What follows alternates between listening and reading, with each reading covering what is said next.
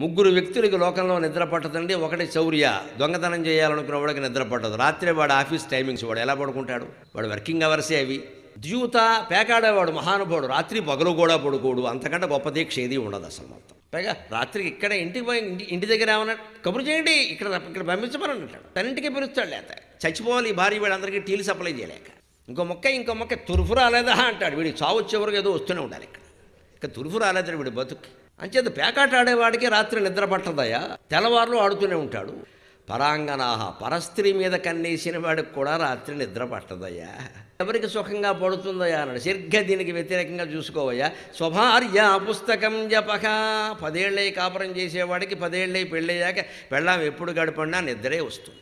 అప్పుడు కూడా నిద్ర రాలేదనుకోండి ఇంకో ఉపాయం ఉంది. పుస్తకం పట్టుకోండి అమ్మా వెంటనే వస్తుంది నిద్ర. రెండు పేజీలు చెప్పగానే వస్తుంది. ఇంకోటి కూడా చెప్పారు మనందరికీ అనుభవం ఇది. జపం చెయ్యి రెండు నిమిషాల్లో పడుకుంటాం.